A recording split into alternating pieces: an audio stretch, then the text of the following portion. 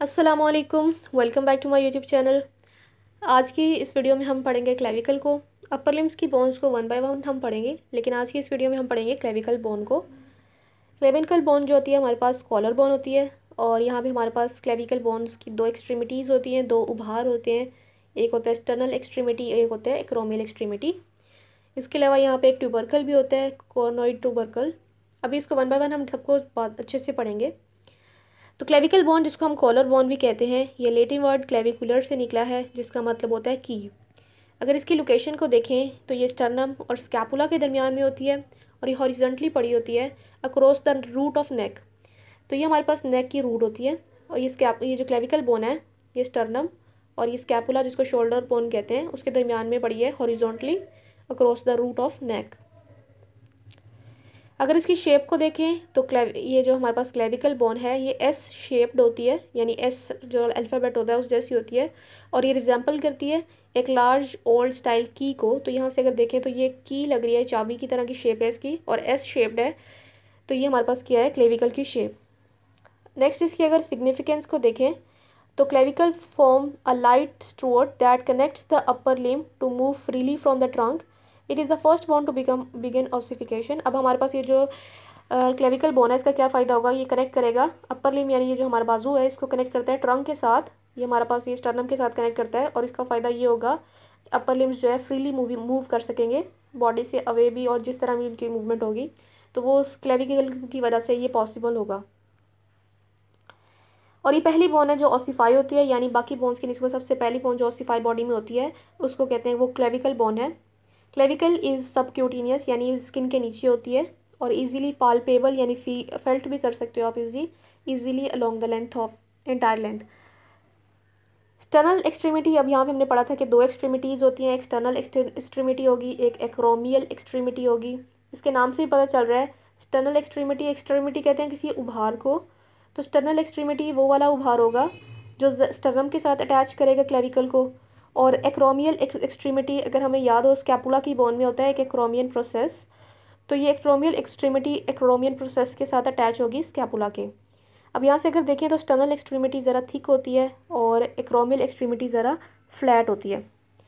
Sternal extremity जो sternum वाली side पे होती है स्टर्नम हमारे पास बॉडी की मिड लाइन होती है तो ये जो स्टर्नल एक्सट्रीमिटी है, ये मीडियल होगा और जबकि एक्सट्रोमियल एक्सट्रीमिटी जो होगा लेटरल होगा। और इसी तरह ये प्रॉक्सिमल भी होगा स्टर्नल एक्सट्रीमिटी क्योंकि ये पॉइंट ऑफ़ अटैचमेंट के करीब होगा, जबकि एक्रोमियल एक्सट्रीमिटी जो होगा, वो पॉइंट ऑफ़ अटैचमेंट यानी कि दूर होगा तो इस वजह से ये डिजिटल होगा। और इसको बारी, अभी देखते हैं हम। The sternal extremity is blunt यानी ये अनशार्प्ड है, इतनी शार्प नहीं है, लेकिन थिक है। और ये प्रॉक्सिमल है, यानी पॉइंट ऑफ़ अटैचमेंट के करीब है मीडियल है, यानी ये हमारे पास मिड लाइन के करीब है। और ये क्लिस का एंड है, ये क्लेविकल का एंड एक एंड है, यानी यहाँ से ये देखा तो ये एंड है, एक और यहाँ से देखें तो ये थिक भी है। It articulates with the clavicular notch of sternum through a compound synovial joint containing an articular disc ठीक है, यहाँ से हमारे पास स्टर्नम के साथ अटैच है। यहाँ से अगर देखें, ये हमारे पास मैन्यूब्रियम दिखाया हुआ है। स्टर्नम का एक पार्ट होता है, ऊपर वाली बॉडी से ऊपर वाला एक पार्ट होता है स्टर्नम के ऊपर, जिसको कहते हैं मैन्यूब्रियम और इसके ऊपर हमारे पास एक नोच होती है, जिसको कहते हैं क्लेविकुलर नोच और वहाँ पे, यहाँ पे, और उसने क्लेविकल के इस एंड के साथ साइनोवियल ज्वाइंट बनाया हुआ है। यानी हमारे पास क्लेविकल बोन का जो एक्सटर्नल एक्सट्रीमिटी है, उसने मैनिब्रम के क्लेविकुलर नोच के साथ एक जॉइंट बनाया हुआ है साइनोवियल जॉइंट इसके इर्द गिर्द क्या होती है? एक आर्टिकुलर डिस्क भी होती है। तो यहाँ से अगर हम देखें, ये हमारे पास इसका स्टर्नल का एक्सट्रीमिटी है। ये हमारे पास मैनिब्रियम दिखाया हुआ है और उसके ऊपर एक नोच दिखाई हुई है, जिसको कहते हैं क्लेविकुलर फेसिड जो कि इस साइड से नज़र आ रहा है हमारे पास, क्लेविकुलर नोच, स्टर्नम के ऊपर होती है क्लेविकुलर नोच। और यहाँ पे आके क्लेविकल का एंड अटैच होता है, और कौन सा एंड अटैच होता है? स्टर्नल एक्सट्रीमिटी वाला एंड अटैच होता है। इसी तरह दूसरी एक्सट्रीमिटी जो है एक्रोमियल एक्सट्रीमिटी है। एक्रोमियल एक्सट्रीमिटी क्या होती है? फ्लैट होती है, और ये डिस्टल होती है, यानी पॉइंट ऑफ़ अटैचमेंट के दूर होती है, और लेटरल होती है, क्योंकि बॉडी मिड लाइन से दूर है। इट आर्टिकुलेट्स विद हमारे पास ये अब एक्रोमियन प्रोसेस ऑफ़ स्कैपुला के साथ अटैच हुई होती है। यहाँ से देखें तो ये वाला जो मीडियल पार्ट है, ये स्टर्नल एक्सट्रीमिटी था। अभी जो लेटरल है, ये कौन सी है? एक्रोमियल एक्सट्रीमिटी और ये किसके साथ अटैच होगी? ये स्कैपुला बोन दिखाई हुई है। स्कैपुला बोन का हमारे पास ये एक्रोमियन प्रोसेस है। यहाँ आके अटैच हुई हुई है क्लेविकल का क्रोमियल एक्सट्रीमिटी जो कि लेटरल एंड है। ठीक है, यहाँ से अगर दोबारा देखें तो ये हमारे पास एक्रोमियन एक्रोमियल एक्सट्रीमिटी है, जो कि स्कैपुला के एक्रोमियन प्रोसेस के साथ अटैच है।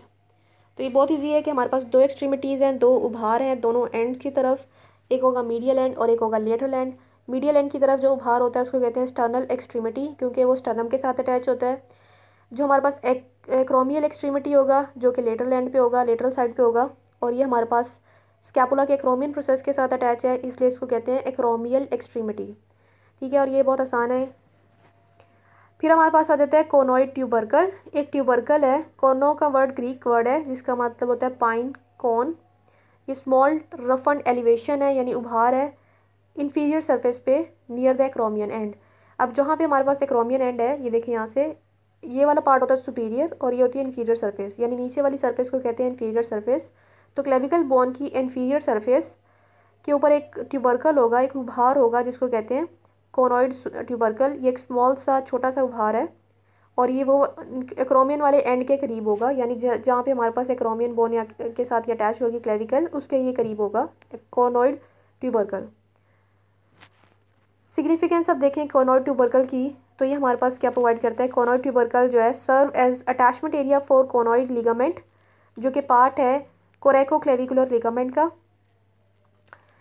अटैचमेंट एरिया जो है हमारे पास प्रोवाइड करता है कोरोनोइड कोरोनो कोनोइड लिगामेंट को, ठीक है? कोनोइड लिगामेंट हमारे पास क्या होता है? यहाँ से अगर देखें तो ये हमारे पास अटैच दिखाई अटैचमेंट दिखाई हुई है कोनोइड लिगामेंट की। तो यहाँ से इसका फ़ायदा ये होगा, इस प्रोसेस के साथ क्लेविकल के, इस ट्यूबरकल के साथ आके हमारे पास कोनोइड लिगामेंट अटैच होगा और कोनोइड लिगामेंट जो है हमारे पास कोरेको क्लेविकुलर लिगामेंट का पार्ट है। यानी कोरेको क्लेविकुलर लिगामेंट में दो लिगामेंट्स आते हैं ट्रेपिजोइड लिगामेंट और कोनोइड लिगामेंट तो उसने ये बात लिखी है यहाँ पे कि ये जो हमारे पास कोनोइड ट्यूबरकल है, यहाँ ये प्रोवाइड करेगा अटैचमेंट एरिया कोनोइड लिगामेंट को और कोनोइड लिगामेंट जो है, वो कोरेको क्लेविकुलर लिगामेंट का पार्ट है।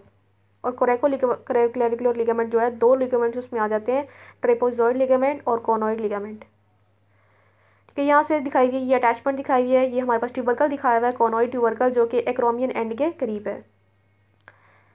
फिर हमारे पास अगर देखें कौन से मसल्स यहाँ पे आके अटैच होते हैं the most important muscles attach to the clavicle clavicle के साथ जो मसल्स आके अटैच होते हैं, वो हमारे पास डेल्टोइड मसल है ट्रेपेजियस है स्टर्नो क्ली स्टर्नोक्लीडोमेस्टोइड मसल है पेक्टोरलिस मेजर है और स्टर्नोहाइड्रोइड मसल है। तो यहाँ से अगर देखें तो ये हमारे पास दिखाया हुआ है पेक्टोरलिस मेजर मसल जो कि आगे अटैच है क्लेविकल बोन के साथ, ये हमारे पास सबसे इंपॉर्टेंट मसल दिखाया हुआ है स्टर्नोक्लीडोमेस्टोइड मसल ट्रेपेजियस मसल भी इसके साथ अटैच है और यहाँ पे बाजू पे यहाँ पे होगा डेल्टोइड मसल तो वो भी यहाँ पे अटैच होगा आगे क्लेविकल के साथ। नेक्स्ट हमारे पास क्लिनिकल नोट्स हैं क्लेविकल के तो क्लेविकल फ्रैक्चर भी हो सकता है। अनफॉर्चुनेटली बदकिस्मती से ये वो वाली बोन है जो इजीली एक्सपोज हो जाती है ट्रॉमा को, यानी इंजरी इसको सबसे जल्दी हो जाती है, क्योंकि इसकी पोजीशन इस तरह की होती है। It is most commonly fracture bone in the body इसकी कॉजेज़ क्या होंगे? या तो शोल्डर पे आपके बल गिर गए हैं, तब आपको ये फ्रैक्चर हो सकता है, या आउटस्ट्रेच्ड हैंड, इसका दो कॉजेज़ हैं। तो यहाँ से देखिए, फ्रैक्चर दिखाया हुआ है क्लेविकल बोन का, और ये सबसे ईजीली मतलब फ्रैक्चर हो जाती है बोन है। पोटेंशियल साइट्स जो होती हैं, यानी कौन कौन सी ऐसी साइट्स होती हैं जो कि फ्रैक्चर होने के चांसेस ज़्यादा होते हैं तो ये जो पोटेंशियल साइट्स दिखाई हुई हैं, ये वाली साइट्स जो हैं, ज़्यादा फ्रैक्चर हो सकती हैं, ज़्यादा ज़्यादा चांसेस होते हैं इनके फ्रैक्चर होने के। रिज़ल्ट क्या होगा? यानी इसका फ्रैक्चर अगर हो गया, क्लेविकल फ्रैक्चर तो हो गया तो फिर होगा हमारे पास the force is transmitted along the clavicle which breaks at its weakest point यानी कोई भी अगर धक्का लगा तो आपकी क्लेविकल बोन जो है फ्रैक्चर हो गई है तो वो अपने वीकेस्ट पॉइंट पर टूटेगी। और वो वीकेस्ट पॉइंट कहाँ होगा? Junction of middle and outer third यह हमारे पास इस पॉइंट से जो है फ्रैक्चर हो सकती है इजीली इन वीक इनको कहते हैं वीक पॉइंट्स फिर हमारे पास ये किस तरह दिखाया हुआ है कि मैकेनिज्म ऑफ़ इंजरी आप गिर गए हो शोल्डर के बल तो इस तरह ही आपको यहाँ पे डायरेक्ट ब्लो हुआ है शोल्डर पे तो इस तरह जो है इंजरी हो सकती है क्लेविकल बोन को। अच्छा after the fracture lateral fragment is depressed by the weight of arm अगर फ्रैक्चर हो गया, उसके बाद जो हमारे पास लेटरल फ्रेगमेंट है, वो डिप्रेस हो जाएगा आर्म के वेट के साथ एंड पुल्ड मीडियली और वो मीडियली पुल हो जाएगा forward by the strong adductor muscle of the shoulder joint specially pectoralis major muscle यानी ये हमारे पास जो है लेटरल फ्रेगमेंट जो होगा, वो डिप्रेस हो जाएगा। और हमारे पास, यहाँ से अगर देखें तो ये हमारे पास दिखाया हुआ है pectoralis major muscle pectoralis major muscle जो कि एक एडक्टर मसल है स्ट्रॉन्ग एडक्टर मसल है शोल्डर जॉइंट का। पेक्टोरलिस मेजर मसल और हमारे पास आर्म के वेट की वजह से ये जो लेटरल फ्रेगमेंट होगा, यानी जो लेटरल फ्रेगमेंट होता है, ये हमारे पास मीडियली पुल हो जाएगा।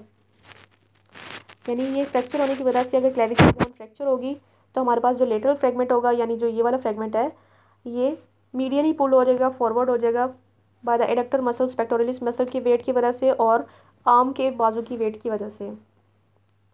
और जो मीडियल एंड होगा, वो टील्ड हो जाएगा upward by the sternocleidomastoid muscle अब यहाँ पे दूसरा जो मसल है, वो कौन सा है? स्टर्नोक्लिडोमोस्टोनोइड मसल इसके वेट की वजह से हमारे पास जो मीडियल एंड होगा, जो पॉइंट ऑफ़ अटैचमेंट के करीब होता है, वो फॉरवर्ड यानी ऊपर की तरफ़ जो है खिसक जाएगा यानी ऊपर की तरफ़ उसको धक्का लगेगा टिल्ट हो जाएगा। The medial end is tilt upward by the sternocleidomastoid muscle. The close अच्छा यहाँ से देखेंगे तो ये हमारे पास टर्नो क्लीडोमोस्टर मसल दिखाया हुआ है। इसके धक, इसके यहाँ पे वेट की वजह से जो है ये ऊपर को फ्रैक्चर के बाद जो है ये ऊपर को चला जाएगा। Lifted upward. अब हमारे पास यहाँ पे एक नर्व गुजर रही होती है सुपरा क्लेविकुलर नर्व। तो क्लेविकल का उसके साथ बहुत इंपॉर्टेंट रिलेशन है क्लोज रिलेशनशिप है सुपरा क्लेविकुलर नर्व का क्लेविकल के साथ। और उसकी वजह से यहाँ पे अगर हमारे पास क्लेविकल फ्रैक्चर होगी तो यहाँ पे क्या हो जाएगा? कैलस फॉर्मेशन हो जाएगी। कैलस फॉर्मेशन का हमें पता है कि जब बोन टूटती है तो वहाँ पे कैलस बनता है। After fracture of bone this may cause persistent pain over side of neck तो इसकी वजह से आपको साइड ऑफ़ नेक की साइड पे पेन होगा। यहाँ से बहुत से स्ट्रक्चर्स गुजर रहे होते हैं clavicular compression of brachial plexus subclavicular artery and subclavicular vein The interval between the clavicle and first rib is in some patient may become narrowed and thus is responsible for the compression of nerves and blood vessels. यानी वो ये कह रहे हैं, यहाँ से ये दिखाई गई है सुपरा क्लेविकुलर नर्व तो यहाँ से अगर ये हमारे पास फ्रैक्चर होगी बोन तो यहाँ पे कैलस फॉर्मेशन हो जाएगी और ये क्लोज रिलेशनशिप होता है क्लेविकल का सुपरा क्लेविकुलर नर्व के साथ. ये सुपरा क्लेविकुलर नर्व दिखाई हुई है। तो यहाँ पे ये जो लास्ट बात लिखी हुई है कि कंप्रेशन हो जाएगी किसकी ब्रेकियल प्लेक्सिस की सब क्लेविकुलर आर्टरी की और सब क्लेविकुलर वेन की. क्यों होगा ये? जब हमारे पास फ़र्स्ट रिब के दरमियान में और क्लेविकल के दरमियान में जो मसल्स हैं, ये कंप्रेस हो जाएँगे तो यहाँ पे जो स्ट्रक्चर्स यहाँ से गुजर रहे हैं कौन कौन से स्ट्रक्चर्स गुजर रहे हैं? सब क्लेविकुलर आर्टरी यहाँ से गुजर रही है, सब क्लेविकुलर वेन यहाँ से गुजर रही है रेड कलर की आर्टरी है और ब्लू कलर की वेन है और यहाँ पे ब्रेकियल प्लेक्सिस जो है, ये जो येलो कलर से दिखाया हुआ है तो ये अगर यहाँ पे मसल्स कंप्रेस हो जाएँगे तो यहाँ से ये जो स्ट्रक्चर्स हैं, इनकी भी कंप्रेशन हो जाएगी, यानी brachial plexus subclavicular artery और सब क्लेवियन वेन की जो है कंप्रेशन हो जाएगी, तब जब हमारे पास रिब्स के दरमियान फ़र्स्ट रिब के दरमियान में और क्लेविकल के दरमियान का मसल जो है कंप्रेस हो जाएगा। तो ये हमारे पास क्लेविकल बोन दिखाई हुई है। ये इसका लेटरल वन थर्ड पार्ट होता है और जबकि ये जो दूसरे बाकी पार्ट होता है, इसको कहते हैं मीडियल टू थर्ड पार्ट तो यहाँ तक हमारे पास क्लेविकल बोन कंप्लीट हो जाती है। नेक्स्ट वीडियो में इंशाल्लाह हम शोल्डर बोन को पढ़ेंगे